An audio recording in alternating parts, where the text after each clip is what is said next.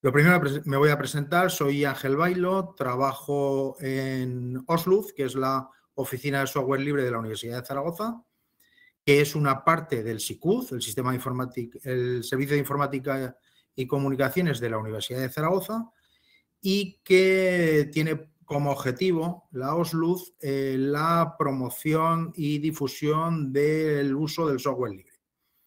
El software libre es un conjunto de herramientas, sobre todo informáticas, eh, que están incluidas dentro de lo que llamaríamos filosofía del pensamiento libre y que, eh, y que queremos que se extienda como herramienta de uso porque pensamos que, es bueno para la sociedad en general.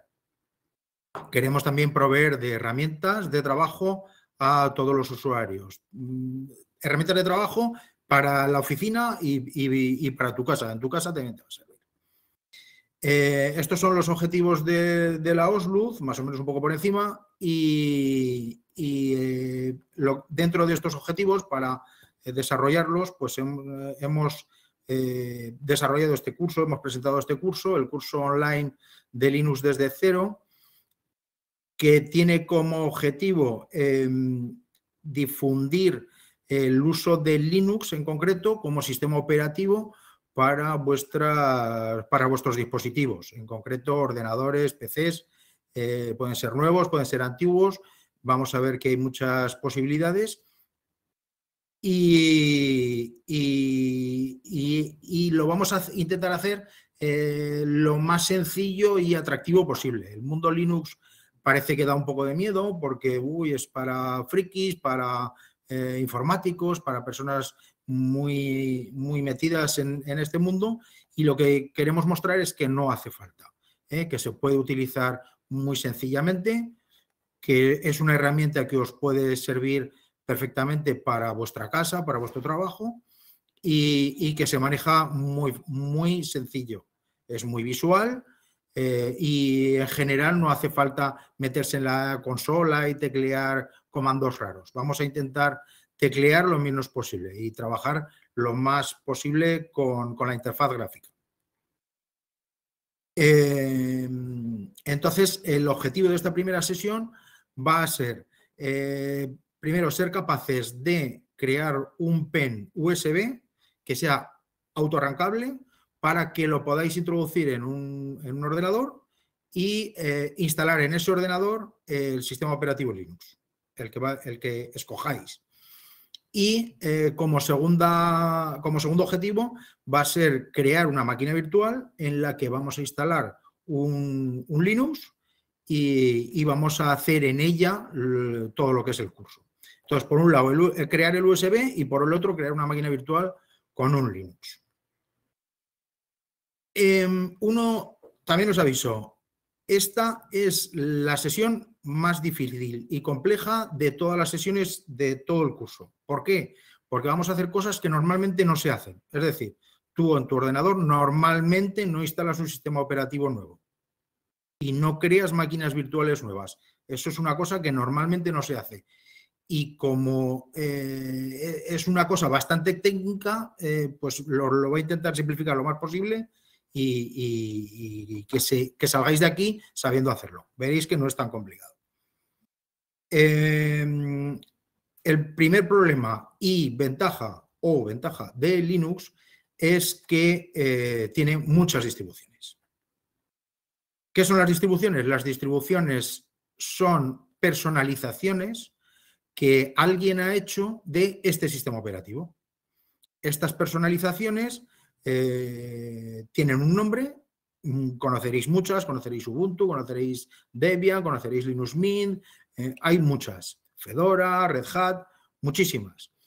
Y eh, una de las dificultades primeras es escoger una distribución. Bueno, podéis leer infinidad de artículos o, lo, que, o lo que deseéis. Yo en concreto voy a compartir mi pantalla. Quiero que veáis que sí que es difícil porque ah, si os enseño esta imagen que tengo aquí, estos son el mapa de las distribuciones, muchísimas distribuciones que hay de Linux. Entonces, podemos decir que hay tres eh, ramas principales, Red Hat, Slackware y Debian, que está aquí. Nos vamos a centrar en la de Debian, que es la más mm, destinada a usuarios, aunque no es así, pero bueno, en la que más los usuarios eh, se van a sentir cómodos. Y aquí podéis encontrar infinidad, muchísimas distribuciones que han nacido de Debian y que eh, podemos seleccionar. Una forma de, seleccionarla sería entrando en la página distrowatch.com, que es esta de aquí, y en la que eh, tenemos información sobre infinidad de distribuciones, muchísimas. Tenéis información sobre ella y si en el buscador, por ejemplo, introducís una, eh, la que yo he seleccionado, Ubuntu, vais a tener cantidad de información sobre ella, lo que es, en qué está basado, eh, el tipo de distribución, muchísimas cosas. Bueno, ¿por qué he escogido Ubuntu? Bueno, pues porque Ubuntu es una de las distribuciones Linux más utilizadas, sobre todo en entorno eh, casero, y porque es muy sencilla, muy visual, muy amigable, es compatible con infinidad de, dispositivos y eh, en concreto eh, selecciono Kubuntu porque eh, la vamos a personalizar con un entorno de escritorio que es KDE. KDE Plasma es un entorno de escritorio. En, en Windows solo vamos a encontrar un entorno de escritorio, que es el, propio Windows, pero en Linux, eh, gracias a su gran variedad, a su personalización, podemos encontrar distintos entornos de escritorio. KDE, para mí, eh, personalmente, es una elección mía, me parece el más completo, el más agradable, el más personalizable, eh, y por eso vamos a trabajar con. Como os había dicho, en, bueno, no os lo había dicho, eh, lo había publicado en la página web, eh, era recomendable que descargarais Kubuntu, que llegarais a la sesión con Kubuntu descargado. Para descargar Kubuntu, tecleamos Kubuntu en un buscador. En la primera opción que nos aparece, kubuntu.org, entramos en Kubuntu y vemos aquí su página web, que nos explican mm, distintas cosas, pinchamos en la opción de download, las descargas, y descargamos la primera. pulsamos en este botón, 64 bits, download. Y aquí, con esto vamos a descargar la ISO, es decir, un archivo que en este caso son 3,1 gigas, le dais a aceptar, aceptáis y comenzará a descargar. Aquí está, ha comenzado mi descarga. Yo lo voy a parar porque ya lo tengo descargado, pero eh, para que veáis cómo se descarga. 64 bits. ¿Por qué? Pues porque es una arquitectura más moderna y vamos a crear la máquina virtual con ella. Por otro lado, si nos da tiempo, vamos a instalar también una vieja conocida de Unizar, que es Gluz. Entonces, para descargar Gluz, tenéis que entrar en soflibre.unizar.es. Os lo voy a escribir en el chat. Lo escribo en el chat. El enlace.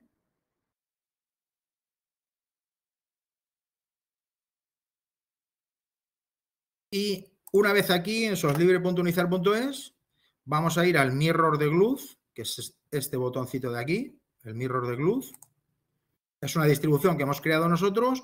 Vamos a pulsar en XFCE porque la KDE todavía no la tenemos. Eh, el XFCE es un escritorio ligero, veréis que es mucho más ligero que el KDE. Y pulsamos en GLUD 3.0 ISO y descargáis este archivo también. Que se vaya descargando. Yo lo voy a parar porque ya lo tengo descargado. Y, con eso tendríamos las dos ISOs que vamos a necesitar. Eh, lo primero que vamos a hacer, el primer objetivo era crear un, USB arrancable eh, para poder instalar eh, Linux en un ordenador. Para ello, vamos a buscar en, en un buscador Rufus. Voy a utilizar esta herramienta. Hay muchas herramientas para crear USBs arrancables, pero Rufus yo creo que es la más conocida y simplemente lo ponéis en un buscador, Rufus, la primera opción, eh, Rufus Creative Table USB, pinchamos en él, nos explican un poco lo que hace Rufus, que es crear unidades USB fácilmente arrancables. Y tenemos varias opciones para descargar Rufus. Eh, podéis descargar, yo utilizaría la portable. La portable quiere decir que ni siquiera se va a instalar en nuestro sistema. Va a descargar un archivo que no se va a instalar, se ejecutará, pero no se instalará. Lo descargamos, pinchamos en él y se descarga el Rufus portable, 317 portable, este enlace de aquí. Una vez se ha descargado, yo lo tengo en mi escritorio, es este archivo de aquí. Este es el que se acaba de descargar. Tengo mi eh, ISO de Glue y tengo mi ISO de Kubuntu. Estas tres son las herramientas que vamos a utilizar ahora. Bien, eh, Rufus simplemente lo ejecutamos, doble clic, le digo que sí, le doy permiso para que haga cosas, me pide permiso para actualizar Rufus, le digo que no, no quiero que se actualice. Y me arranca la, eh, la interfaz de Rufus. No os lo había dicho, esto ha sido un fallo mío, deciros que eh, necesitabais un pen, un pen USB que pudierais borrar, porque se van a borrar todos los datos. Si tenéis datos que, no podéis borrar o que tenéis que haceros copia, no lo borréis, haceros la copia y ya está. Esto ya os digo, es muy sencillo, lo vais a ver ahora en un momento. Si no lo hacéis ahora, lo podéis hacer cuando terminemos o mañana o cuando veáis el vídeo. No pasa nada. Lo que vamos a hacer es crear un pen. ¿Cómo se hace esto? He arrancado Rufus eh, mm, y necesita dos datos principales. Uno, ¿cuál es el dispositivo en el que voy a grabar? ¿eh? Le tengo que introducir un pen. Un pen. Vale, pues una vez lo he introducido, el sistema me lo detecta, Rufus me lo detecta y ve que tengo aquí un pen de 32 gigas. ¿Vale? lo selecciono. En este caso, Rufus ya me lo había seleccionado. Súper sencillo. Que sea un pen, ¿eh? No lo instaléis en vuestro disco duro. La segunda cosa fundamental que necesitamos es el disco o imagen ISO. Vamos a seleccionar, a este botón de seleccionar, pincho en él. Eh, yo mis imágenes las tengo en el escritorio, ISO. Aquí está mi archivo ISO Kubuntu. Lo selecciono, le digo abrir y ya lo tengo seleccionado. Vale. Ahora tengo una serie de preguntas que eh, dijéramos que son un poco técnicas, pero que directamente nos las vamos a saltar, pero las explico un pelín. Me va a pedir el esquema de partición, que es una cosa un poco técnica, es el tipo de partición que, que, se va a encontrar en el disco. las dos opciones son MBR y GPT. MBR es más antiguo, está pensado para ordenadores antiguos y GPT está pensado para ordenadores más modernos. Si seleccionáis MBR, os va a funcionar siempre. Entonces, lo hacemos con MBR. Nos va a pedir una etiqueta del volumen. Esta que es la etiqueta, el nombre que le va a dar al pen una vez esté grabado. Nos pregunta por un sistema de ficheros y lo vamos a dejar por defecto FAT32. Mm, el tamaño del clúster lo dejamos también, no tocamos nada.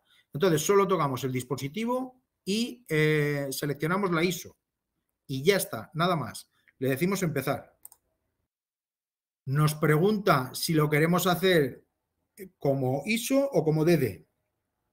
Le decimos el recomendado como ISO, ok. Nos dice que le falta un componente, pero que lo puede descargar. Le digo que sí, que lo descargue.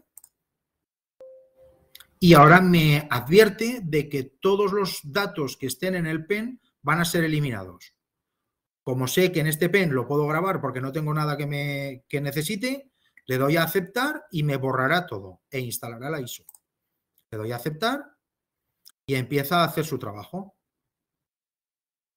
Aquí nos indica del avance de, de, esa grabación. Le costará unos minutos, todo dependerá de lo rápido que sea vuestro ordenador y de si el USB es 2.0, 3.0. Si es un 3.0 lo hará mucho más deprisa que si es un 2.0. En mi caso es un 3.0 porque quiero que me lo haga deprisa. Le costará en torno a 3 minutos. Si es un 2.0 pues le costará por lo menos 10. y ya está. Simplemente eh, lo dejamos trabajar. No hacemos nada más. Que trabaje. Mientras os cuento otras cosas. El siguiente paso que será qué hacer con nuestro pen ya creado. ¿Qué tenemos que hacer? Bueno, pues eh, os he creado, voy a ver si alguien me ha preguntado alguna cosa. Sí, con 8 gigas es, es suficiente. No necesitamos más. Yo tengo uno de 32, pero es suficiente con uno de, de 8 gigas. Incluso con uno de 4 se podría hacer. La Gluz seguro que uno de 4. Eh, bien, tengo este PowerPoint eh, creado. Bueno, lo llamo PowerPoint. En realidad es una presentación que no es un PowerPoint. Es una presentación de diapositivas en la que os indico qué, vamos, qué hay que hacer una vez tenemos nuestro pen eh, creado. Nuestro pen arrancable. Cuando termine Rufus tengo que apagar mi ordenador y conseguir que ese ordenador arranque desde el pen, no desde el disco duro, sino desde el pen. Esto puede ser lo más difícil de todo. Este va a ser el mayor problema que os vais a encontrar a la hora de instalar Linux. Conseguir que arranque del pen, sobre todo con las BIOS modernas. En una BIOS que es más antigua va a dar menos problemas, pero las BIOS modernas son eh, más problemáticas, tienen más requisitos de seguridad y, dan más problemas. En general, sobre todo aquí en Unizar, nos vamos a encontrar con equipos HP y entonces eh, cuando se arrancan vais a ver que os, muestra que si pulsáis escape vamos a poder entrar en la BIOS, en el menú de, inicio.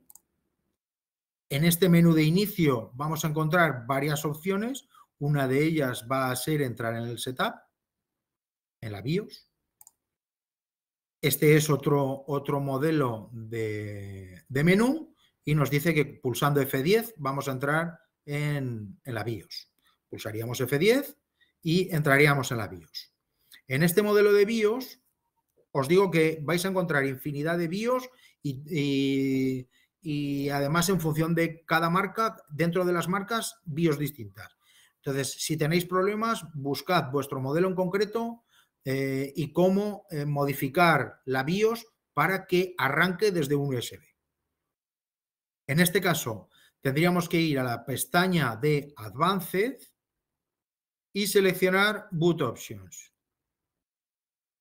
Una vez aquí, bueno, este sería otro modelo de BIOS. Eh, aquí tendríamos que ir a System Configuration y aquí a Boot Options también. Una vez dentro de Boot Options, tendríamos que conseguir que eh, arranque desde el USB Storage. Un boot USB Storage. Conseguir esto, llegar a, activar esto puede ser complicado. ¿eh? Y puede ser que tengáis que introducir una contraseña de seguridad, puede ser que tengáis que eh, desactivar el Secure Boot, el arranque seguro, porque está muy enfocado a, Windows. Entonces han creado esto del Secure Boot para que no arranque con cualquier sistema operativo. Entonces normalmente hay que desactivarlo. Pero ya os digo que esto es en, en BIOS modernas. En BIOS antiguas no vais a tener tantos problemas. Este es nuestro objetivo, que aparezca USB Device Boot. ¿eh? Conseguir que esto nos aparezca. Una vez lo hemos conseguido, guardamos, se reinicia el equipo y si volvemos a pulsar escape nos muestra que para obtener el menú de arranque tengo que pulsar F9. Estamos hablando de HP. En otras marcas serán otras teclas y otros menús. Pero al final más o menos siempre hay que hacer esto. Esto es otro menú.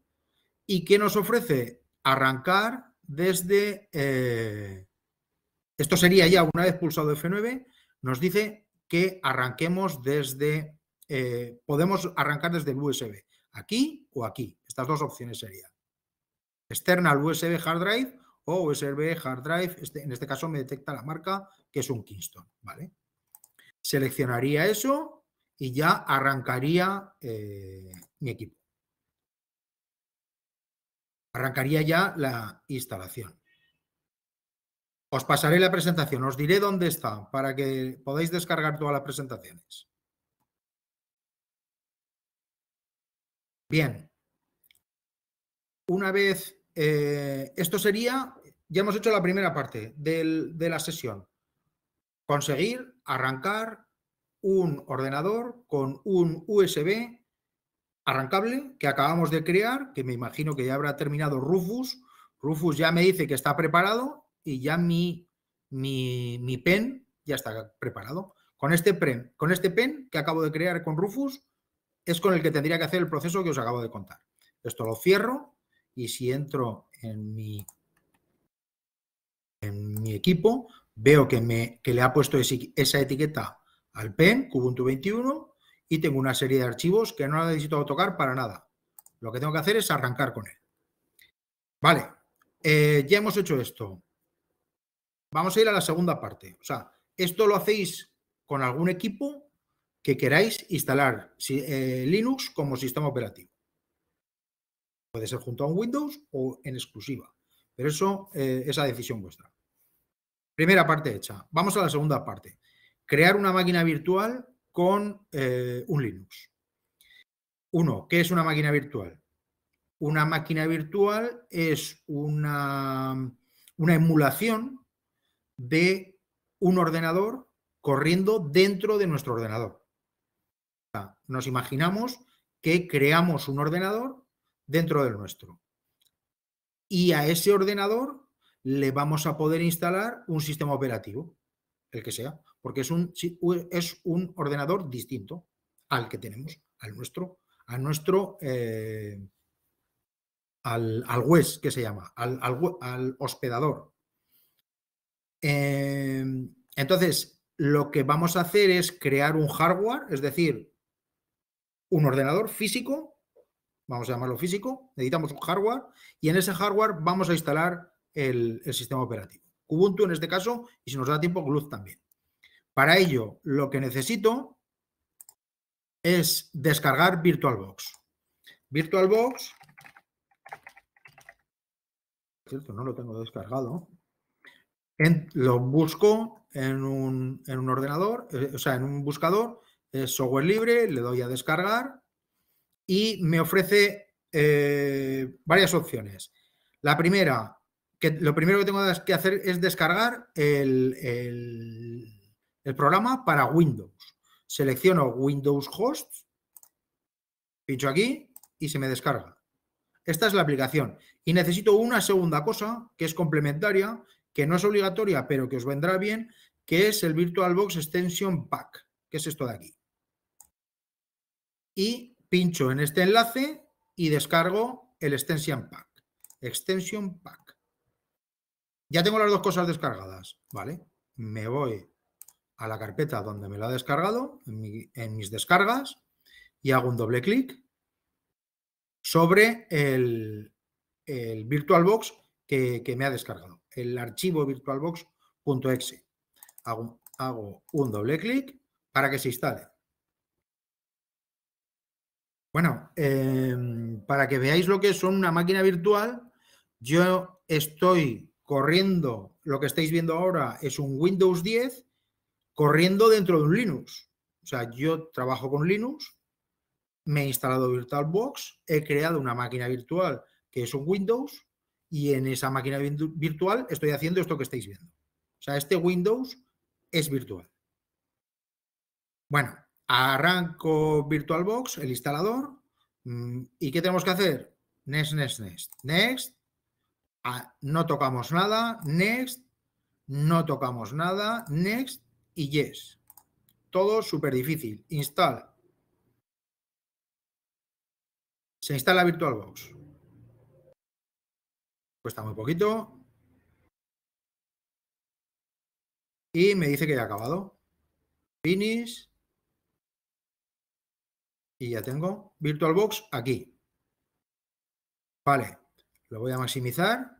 Esto es el VirtualBox que tengo corriendo dentro de, de mi Windows.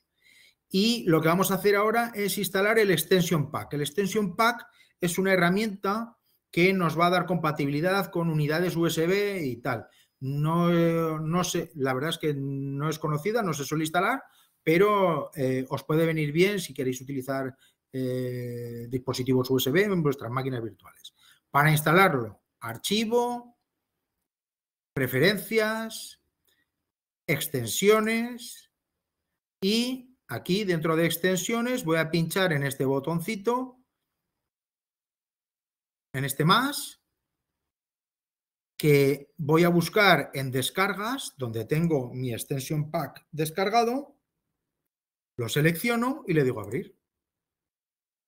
Le digo instalar y aceptar. Bajo hasta abajo y acepto. Me dice que ya se ha instalado, acepto y acepto. Ya está, ya tengo VirtualBox y el Extension Pack instalado. Ya no tengo que hacer nada más.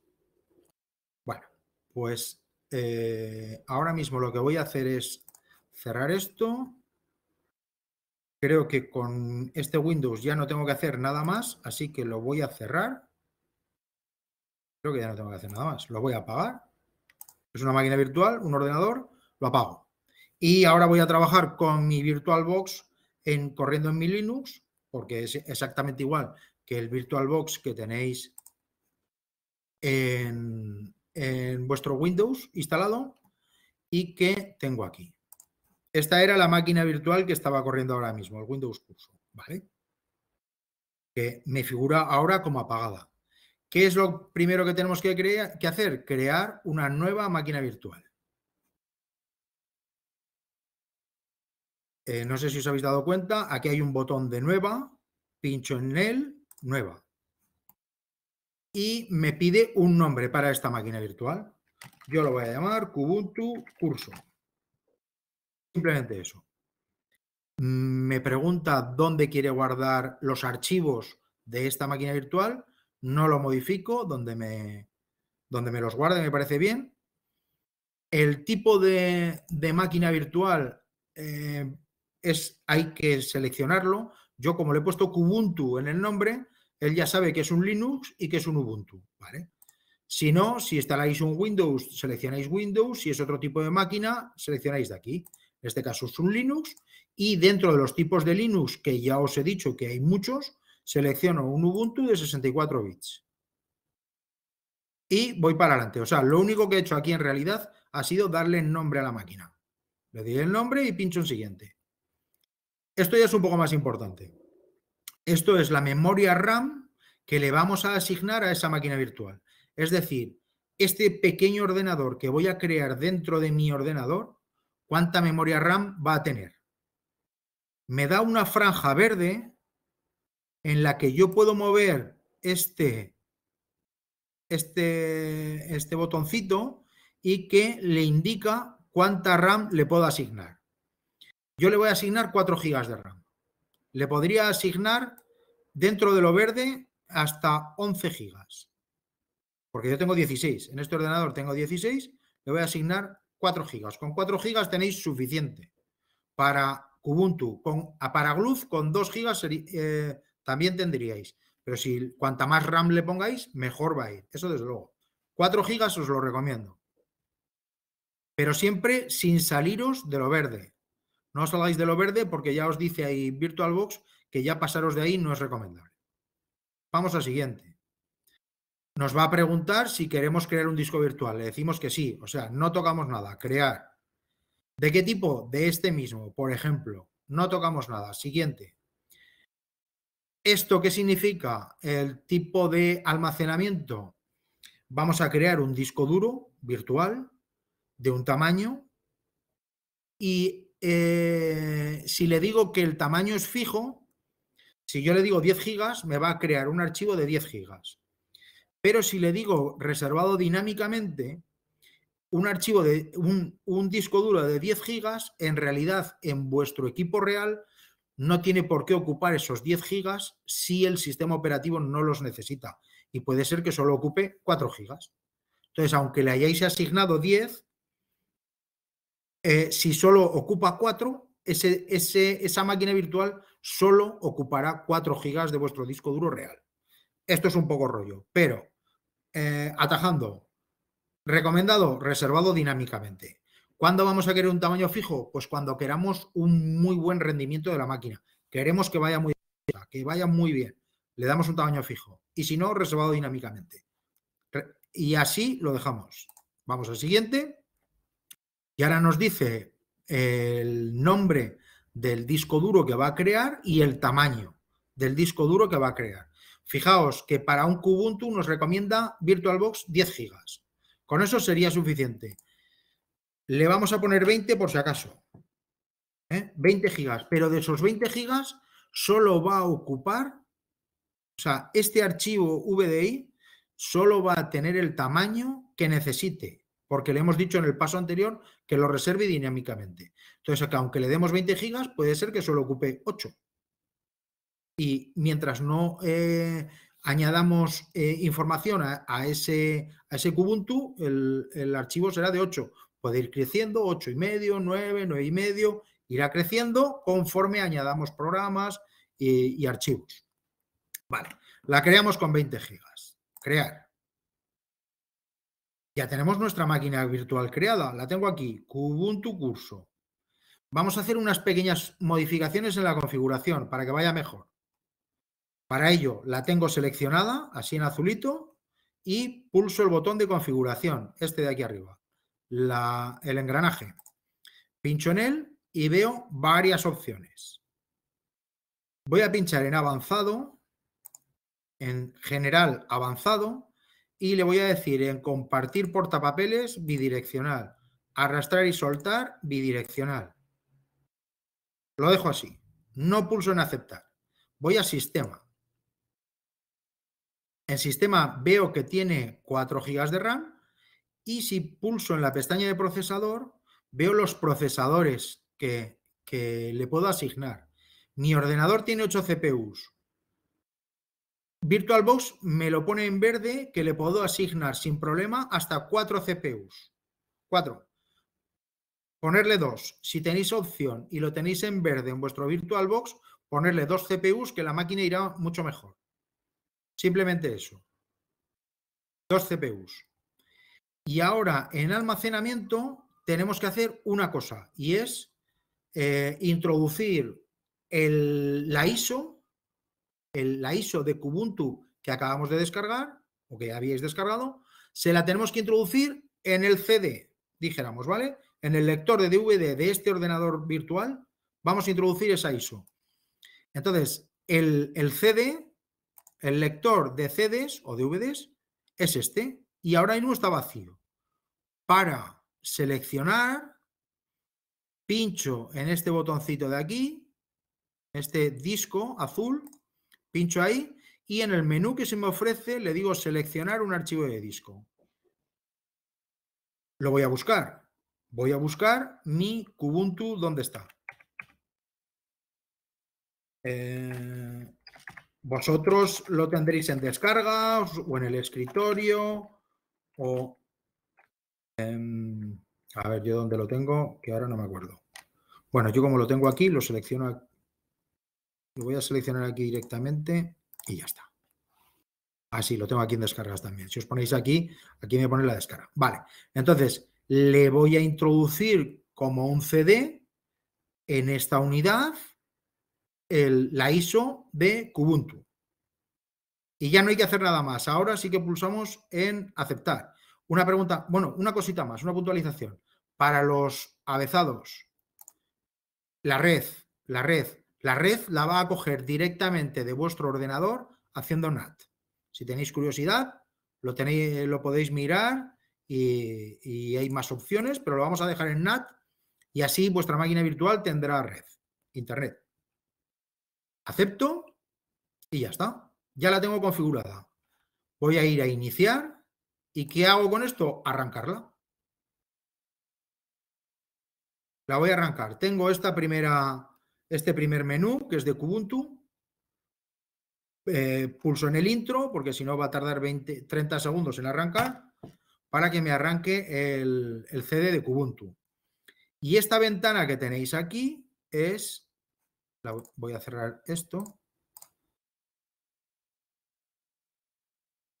Voy a cerrar esto. Esta es mi máquina virtual, es un ordenador virtual em, que, está corriendo dentro de mi equipo. Bien, llegamos al menú de instalación de, de, Kubuntu. Lo primero que vamos a hacer es seleccionar el idioma español. Lo seleccionamos aquí, pulsamos en inglés, bajamos un poquito hacia abajo, bajamos hacia abajo y después del inglés está el español. Pulsamos español y se nos traduce todo ya. Tenemos dos opciones una sería probar Kubuntu. ¿Qué hace esto? Pues nos abre eh, una, un live que se llama eh, para que podamos ver cómo es Kubuntu sin instalarlo. Simplemente lo, lo veríamos, podríamos hacer eh, ver cómo funciona, lo bonito que es, si nos gusta y sin que se instale en nuestro equipo. O bien lo podemos ir a instalar directamente. Pues nosotros lo que queremos es instalarlo.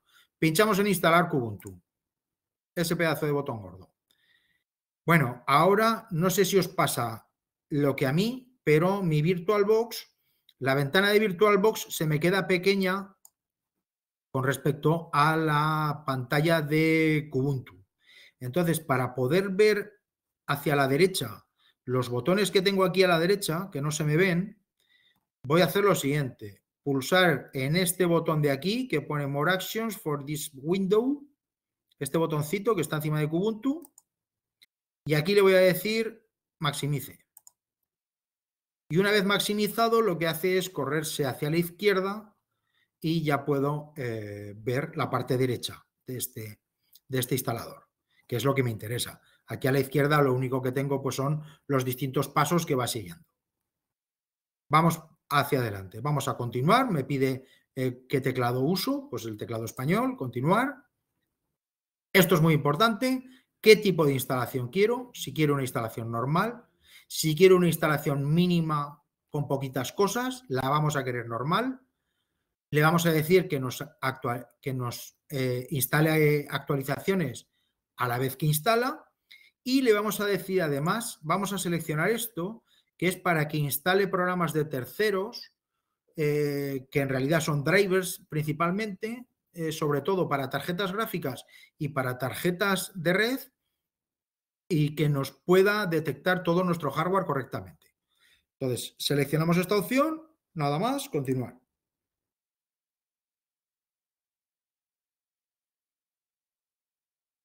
Vamos avanzando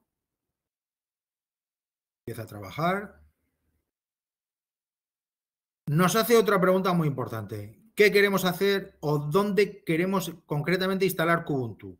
No nos complicamos. Guiado, utilizar todo el disco. Es una máquina virtual, no queremos hacer nada raro. Guiado, utilizar todo el disco. La opción por defecto. Te digo, instalar ahora. Me dice que va a, a escribir eh, en ese disco y que lo va a formatear. Entonces, es peligroso y me pide permiso. Le digo continuar. Me pregunta dónde estoy, dónde estoy. Pues el que esté en España, pues que seleccione España y su región. O si estamos en otro sitio, pues si estás en, en Ecuador, pues seleccionas esto. O si estás en México, seleccionas tu franja horaria. El que esté en España, pues selecciona España. Y le damos a continuar. ¿Qué tenemos que crear? Un usuario y una contraseña para nuestro usuario. Yo lo voy, a hacer una que sea muy fácil para mí, porque normalmente lo, lo uso así. Y lo que es importante, por favor, esta máquina que la vamos a usar, acordaos de esta contraseña. No pasa nada porque le pongáis un 2, 3, 4. No pasa nada. Es una máquina virtual y lo que tenéis dentro eh, no tiene ningún valor. Pero sobre todo acordaos, no que no se os olvide la contraseña de esta máquina porque, porque pasa mucho. y, le va a dar este nombre que nos da igual, pues este mismo. Le decimos que cuando arranque Kubuntu que nos pida la contraseña, podríamos decirle que no la pida, le, decimos, le dejamos para que sí que la pida, o sea, usuario, usuario, contraseña, confirmar contraseña y nada más. Continuar. Y ahora ya comienza la instalación. Así de difícil es instalar un, Linux. No hay que hacer nada más. Con esto ya está todo hecho. Ahora se va a instalar y quizás me pregunte alguna cosa más, pero, pero ya no hay que hacer nada más. Eh, es súper sencillo. Esto le, cuesta un poquito porque tiene que crear pues, el sistema, toda la instalación y cuando haya terminado pues tendremos un ordenador, una máquina virtual en la que eh, podemos trabajar y hacer nuestras pruebas y, lo que, y lo que nos interese. Voy a ver si hay alguna pregunta.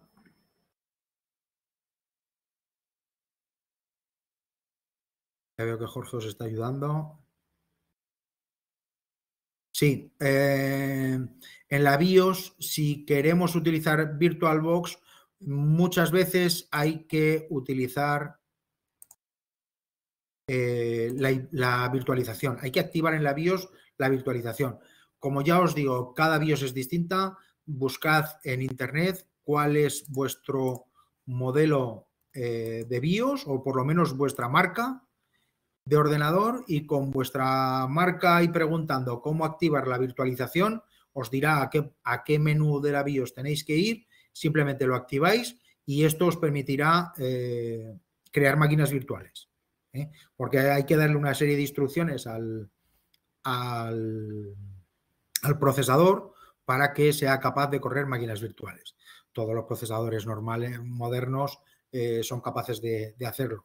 Se activa en la BIOS, en vuestra configuración determinada y, y, ya está. Pues lo busquéis en Internet y solucionado. Eh, se, colgará, sí, este, este vídeo lo estoy grabando, se colgará en, en YouTube, lo podréis ver, pondré el enlace aquí en la página de Osluz y mientras se me instala la máquina virtual, vamos a hacer un pequeño repaso. Bueno, ya, se van a, ya vamos a llegar a los 45 minutos. Lo siento mucho, me he enrollado más de lo que debía. Mientras instala la máquina virtual, os voy a repasar lo que es el contenido del curso. Estamos en la primera sesión. La segunda sesión, o sea, las sesiones van a ser quincenales, cada viernes a las 13 horas. Eh, será la sesión, haremos una, una sesión, menos el 24 de marzo, porque el viernes tenemos fiesta en la Universidad de Zaragoza, entonces en vez de hacerlo el viernes lo haremos el jueves. Las sesiones, pues en la segunda, o sea, dentro de 15 días, el 11 de febrero, eh, veremos el entorno gráfico, entraremos en el Kubuntu, veremos cómo se personaliza y veremos eh, instalación de aplicaciones. En la tercera, el administrador de archivos, un poquito de terminal, algo de comandos básicos. Bueno, ya estaréis muy avanzados. En la cuarta veremos cómo instalar, o sea, cómo imprimir en Linux, ver cómo se instalan impresoras, eh, veremos con unos editores de texto, crearemos textos para poder imprimirlos. en la quinta, el 24 de marzo, veremos un poquito el paquete de ofimática LibreOffice. Es un sustituto ideal para el Office de Microsoft y que os recomiendo plenamente. En la sexta sesión veremos algo de gestión de usuarios y grupos, esta es un poco técnica.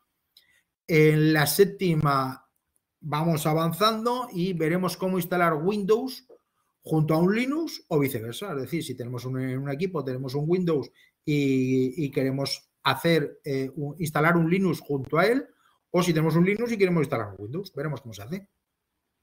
En la octava veremos eh, cómo se instalan programas de Windows en Linux utilizaremos Wine y a lo mejor alguno, algún otro, que nos, son, utilidades que nos permiten eh, instalar eh, programas de Windows.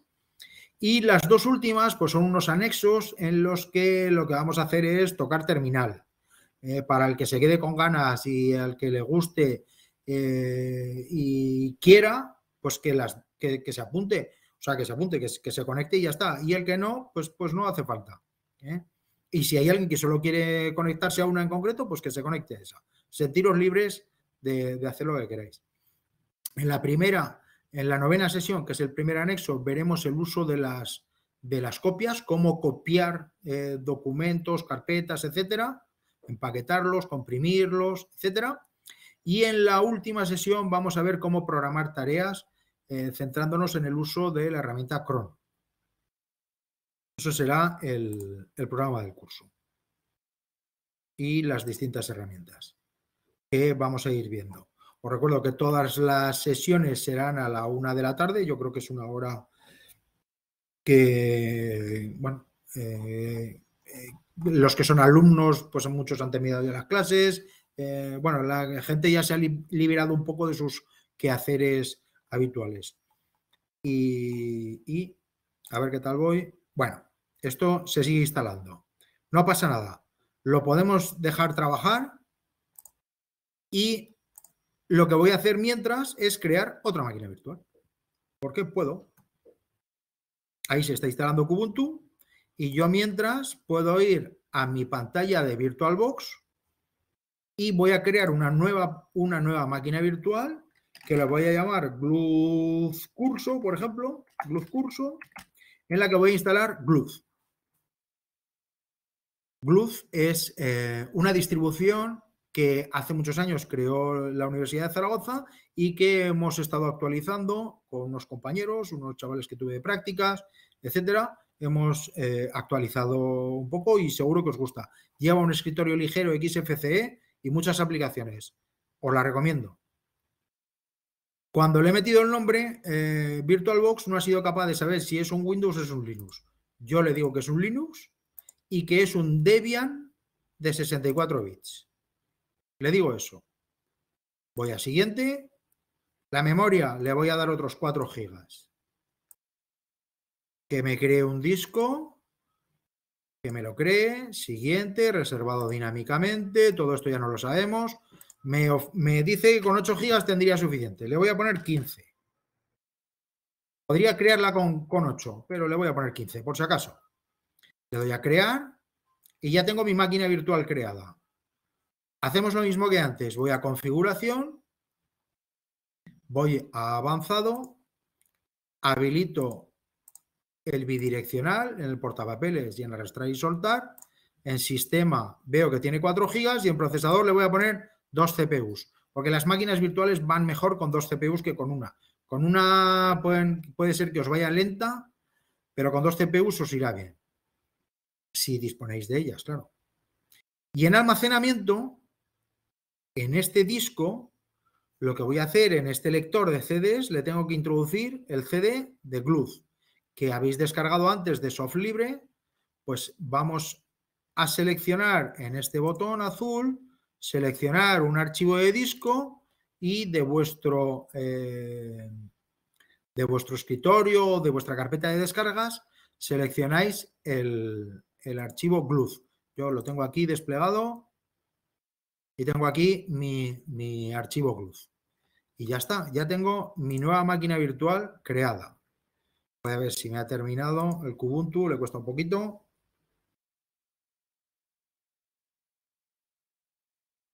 Bueno, yo me había comprometido a hacer las sesiones de 45 minutos. La primera ya me he pasado. Eh, si alguien necesita irse, que se vaya, sentiros libres, eh, se está grabando, lo que os perdáis lo podéis ver en, eh, en YouTube. Lo que voy a hacer ahora es terminar de ver Kubuntu voy a instalar las Web Additions y voy a instalar Gluz en la máquina virtual que acabamos de crear.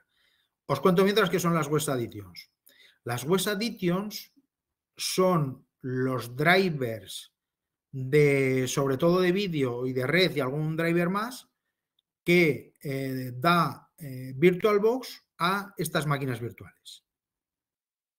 Eh, ya sabéis que cuando instalamos un sistema operativo, por ejemplo, voy a instalar, pues antes pasaba mucho, ahora pasa menos, los sistemas operativos son más completos, pero cuando instalabas un sistema operativo, pues instalabas a lo mejor eh, yo qué sé, una impresora y tenías que buscarle el driver, porque no estaba el driver de la impresora o de un teclado o de un ratón en, en especial. Tenías que buscar los drivers de, ese elemento hardware. Bien, pues las web additions es, son los drivers del el ordenador que nos crea el eh, VirtualBox. Entonces, esos drivers hay que instalarlos. Y os voy a enseñar en un momento cómo se instalan. Súper sencillo, lo instalaremos en Kubuntu y luego en Glue, si nos da, si hoy se queda alguien, pues los, los instalaremos también. Ya le tiene que quedar poco para que termine. ¿Alguna pregunta? Nos va informando, dijéramos que nos informa Kubuntu en su instalación, pues de una serie de cosas, eh, la ayuda, eh, los usuarios, accesibilidad para la pantalla, las herramientas que vienen incluidas con, con Kubuntu. Yo me resulta eh, una, distribución muy amigable, es muy bonita, tiene muchas herramientas y yo creo que, os va a gustar. ¿Eh? Luego, en su equipo, cada uno que se instale lo que quiera. Eh, nos dice que ha terminado y nos pide permiso para reiniciar. Le digo reiniciar. Y se reinicia la máquina virtual me dice que quite el USB. Es que esto es exactamente lo mismo que haría en un ordenador. Que quite el USB y que pulse intro. Pues pulso intro, VirtualBox le quita el, disco. No tenemos que hacer nada más ahí más que pulsar intro. Y ya arranca la máquina virtual con el sistema instalado. Ya veis que no tiene ningún misterio. Se pueden hacer muchas cosas, pero si no quieres hacer, no hace falta nada mi usuario Glue y mi contraseña. Introduzco la contraseña que hemos creado en la instalación. Le doy al intro y arranca el sistema operativo. Es un plasma creado por KDE. ¿Vale? Esto es mi Kubuntu. Si yo lo maximizo, veis que se me queda aquí en una pantalla pequeñica. ¿Qué? dices, wow, pues vaya, qué pequeñico que es esto. Eh, pues, ¿qué tenemos que hacer? Instalar las West Additions. No, voy no vamos a ver nada más. Para ello, ¿qué tengo que hacer? Tengo que ir, estamos, eh, aquí en la pantalla de, de, Kubuntu y en, este menú que nos ofrece VirtualBox, pulsamos en dispositivos y le decimos que nos inserte una imagen de CD de las West Additions, la última opción de dispositivos. Insertar imagen de CD de las West Additions. Pincho en él, se me inserta la unidad, se me abre este desplegable, le digo montar y abrir.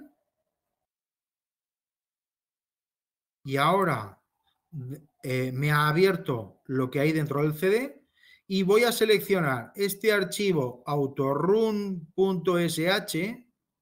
este, que está dentro de este disco con las web additions, botón derecho sobre él, botón derecho, y le digo ejecutar en console.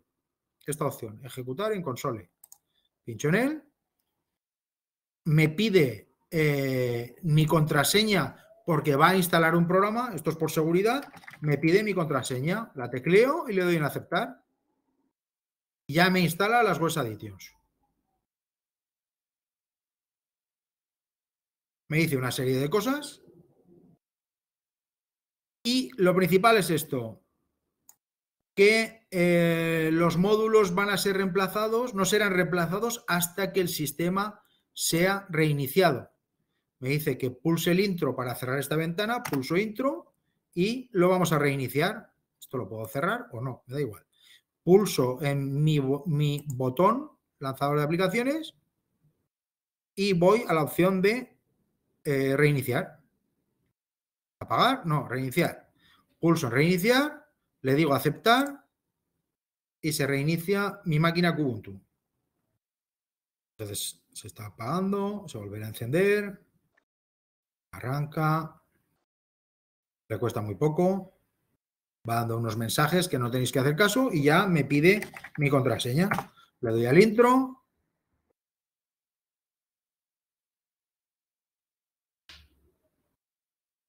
Y aquí tengo mi Kubuntu. Y decimos, eh, bueno, ¿y aquí en qué se nota que hemos instalado las, virtual, las web additions? Perdón. Bueno, pues simplemente lo único que tenemos que hacer es en mi ventana le doy a restaurar y ahora le doy a maximizar.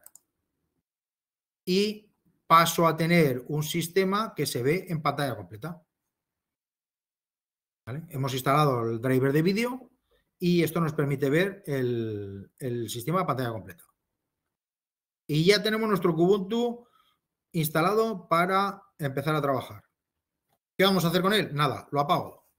Y voy a instalar Glue en la otra máquina virtual. Le digo apagar, aceptar y que se apague la máquina virtual. Y ahora vamos a hacer lo mismo con Glue. Es simplemente para que veáis eh, otra instalación de, de, otro Linux, que es un poco distinta, pero que al fin y al cabo pues, será más o menos lo mismo. Tenemos este Glue curso que hemos creado mientras instalaba Kubuntu. Le digo iniciar. Y arranca el, el menú para el instalador de, de Si dejáis, si no movéis esto, eh, os arrancará un live, es decir, eh, una, una, máquina virtual en la que vais a ver cómo es eh, pero sin instalarlo. Si queréis instalarlo, que es lo que vamos a hacer, vamos a ir a Start Installer. Pues pulso en Start Installer, voy al intro. Bueno, me he desplazado con, el, con los cursores arriba y abajo. Lo primero que me pide es el idioma, está en inglés. Aquí voy a pulsar la S para que me baje hasta la S y aquí selecciono Spanish.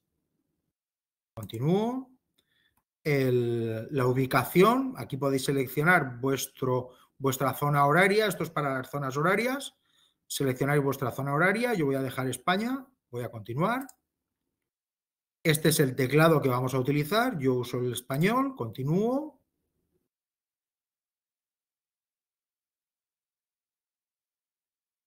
Se está cargando los componentes del sistema, me ha detectado la red, eh, VirtualBox se va a encargar de darle conexión de red a esta máquina virtual.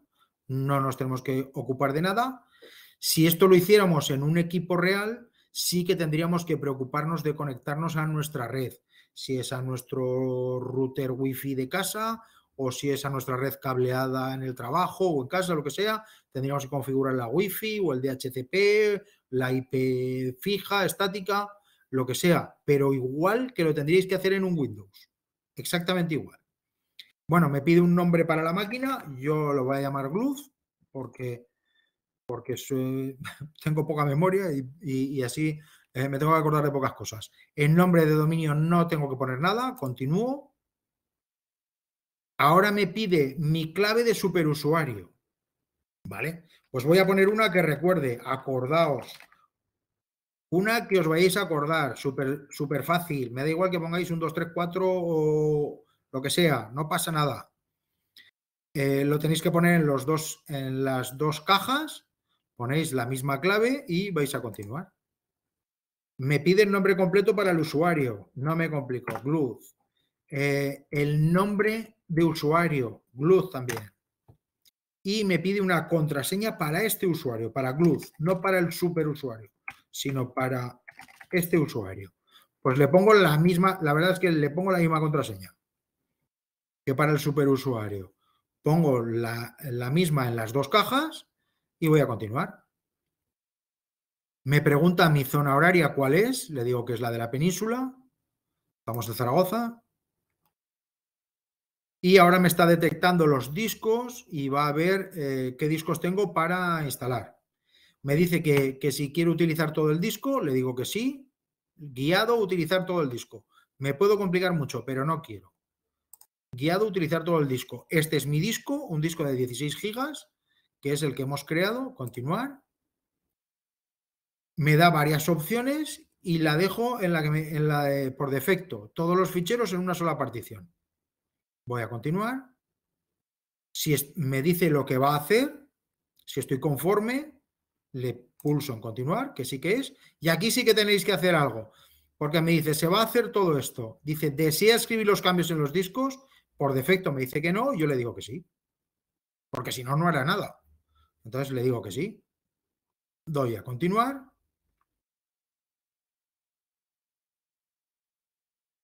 Y comienza la instalación de Bluetooth en el sistema. Bueno, pues lo, vamos a dejar que, se instale.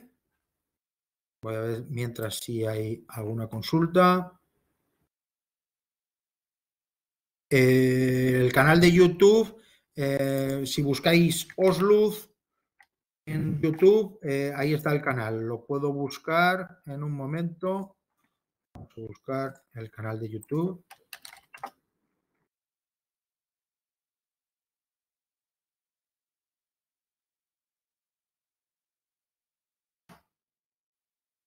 Este canal.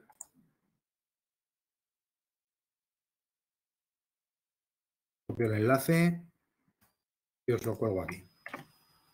Es el canal de, YouTube. De todas maneras lo pondré también en la, en la publicación web, también pondré el enlace. Eh, me dicen también que LibreOffice está muy bien os puedo asegurar que es más que suficiente para casi cualquier persona que, que no haga un uso súper exhaustivo, que yo creo que no lo hace nadie de este mundo, de las herramientas de Office, que son exageradísimas. ¿eh? Eh, entonces son unas herramientas de escritorio súper útiles, que van bien, que son compatibles, que son de estándares abiertos, es decir, nos van a crear unos documentos con unas extensiones que, son, que están estandarizadas, que no son extensiones propietarias, como son los .docx o como son los .xlsx o los PPTs o cosas así. Esos son extensiones propietarias. En cambio, los archivos que nos va a generar LibreOffice son .odt, ODS, ODP, que son estándares abiertos y eh, que están eh, eh, supervisados por entidades internacionales y aprobados por esas entidades. Em, entonces vamos a trabajar con, con unas herramientas que además de gratuitas son buenas y que os van a ser más que suficientes. Hay muchas otras herramientas que se pueden utilizar en, Linux, pero que, también las podéis utilizar en Windows. Quiero decir, LibreOffice lo podéis instalar en, vuestro Windows sin ningún problema. ¿eh? Y vais a sustituir el Office, Microsoft, y, os vais a sentir súper cómodos. Hay otras muchas herramientas, por ejemplo, GIMP como sustituto de Photoshop, o OBS para hacer las emisiones, o el Shotcut para hacer eh, eh, edición de vídeo. Tenéis eh, herramientas para todo. Desde si Linux se usa muchísimo a nivel profesional es porque es una buena herramienta. Tened en cuenta que el 100% de los superordenadores del mundo utilizan Linux, el 100%. No hay ninguno que use otra cosa, ni un Windows ni nada todos usan Linux, una versión u otra. Bueno, me pregunta ahora aquí que si quiero utilizar una réplica de red. Esto es un sitio a donde conectarse si, eh, para que obtenga actualizaciones. Le digo que sí, porque tengo red. Si, no tuviera red, le diría que no. Y no pasaría nada. Pero como tengo red, le digo que sí, que se conecte a uno de España, porque estoy en España y lo tengo más cerca. Puedo seleccionar Debian, pero también tenéis uno en Unizar, si queréis. softlibre.unizar.es que es de donde hemos descargado el Blues. Pero lo podéis dejar en Debian, no hay ningún problema. El que queréis, yo lo dejo en Debian. Vamos a continuar. El proxy no hace falta configurar nada, continuar y sigue instalando cosas. Mm, lo que os decía eh, era que el 100% de los superordenadores, por, eh, por, ejemplo este que hay en Barcelona, el Mare Nostrum, eh, todos los más rápidos del mundo utilizan Linux. los servidores en los que corren las páginas web,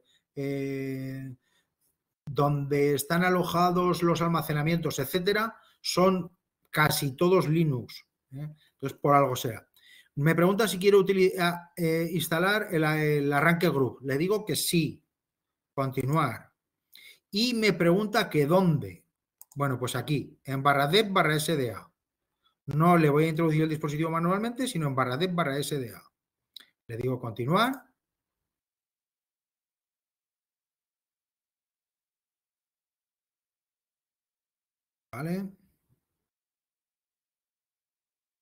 Bueno, y ahora os voy a dar un enlace. Os voy a dar un enlace. Que es este, que es donde podéis descargar unos cuantos tutoriales que he creado para esta sesión. Lo pongo aquí en el chat.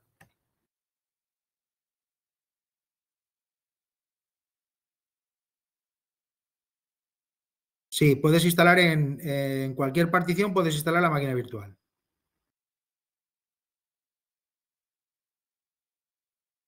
¿Un PDF libre cuál sería? Para leer PDFs, eh, pues sin ningún problema con el Firefox. Puedes leer PDFs estupendamente y seguro que lo haces todos los días. Y si quieres editarlos, con el propio LibreOffice los vas a editar sin ningún problema. PDF libre, María Ángeles Trigo me pregunta eso.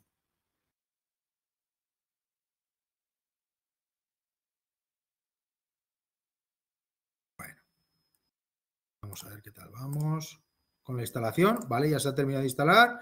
Le digo continuar.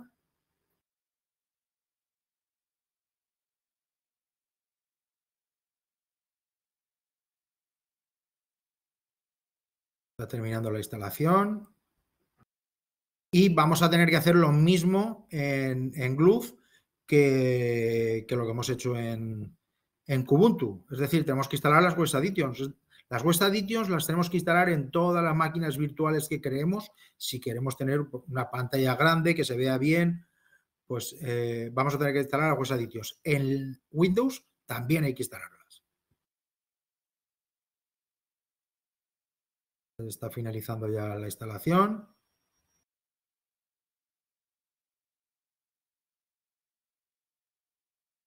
Bueno, me he enrollado muchísimo.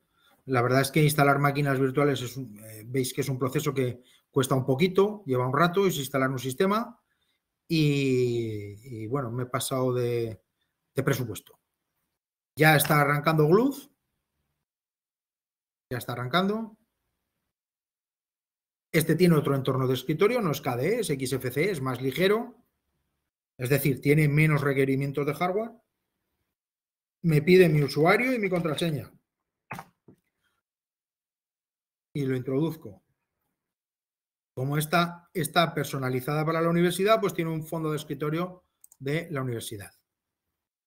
Bien, ¿qué tenemos que hacer para instalar las, las Web Additions aquí? Pues aquí tengo una carpeta de Web Additions que si le hago un doble clic me pregunta cuál es el gestor de archivos que quiero abrir. Me da por defecto Tunar, pero tengo otro que me gusta más, que se lo tengo que escribir porque todavía no he terminado de depurar. Escribo Dolphin y le digo aceptar y le digo aceptar y me va a abrir Dolphin, que me gusta mucho más. ¿Vale? Pues una vez estoy aquí, tengo unas instrucciones para ver cómo se instala esto. Me dice que tengo que insertar la imagen del CD de las Web Additions, pues voy a dispositivos, insertar imagen de CD. Ya está insertado. Y ahora tengo que, desde una terminal, ejecutar estos, estos, estos comandos. Ya os he dicho que no quería eh, utilizar la terminal, pero ¿qué le vamos a hacer? Entonces, aquí escribo terminal quiere eso, simplemente empiezo a escribir, me ofrece ya la, terminal y aquí lo que tengo que escribir era su menos e introducir mi contraseña. Y una vez he introducido esta contraseña, tengo que ir a esta carpeta. ¿Esta carpeta cuál es? Así lo puedo ver aquí.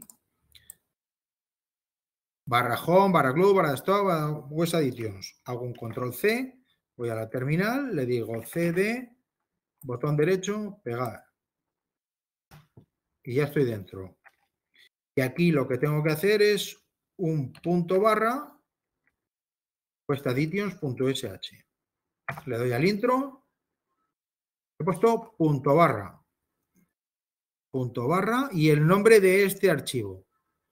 Punto barra westadditions.sh. Y me instala las, las Se pueden instalar de otras maneras, pero esta es la que hemos preparado aquí en la distribución para que sea un poquito más sencillo porque si no nos daba, nos daba algún problema. Entonces se están instalando, me vuelve a decir que hay que eh, reiniciar, entonces reiniciamos, esto lo cierro, pulso en el menú, voy a este botón que es el de apagar, le digo reiniciar, se reinicia, Es un Debian, 64 bits, está basada en Debian. Ubuntu está basada en Ubuntu y Ubuntu está basado en Debian. O sea que son primas hermanas estas distribuciones. Me vuelve a pedir el usuario y la contraseña.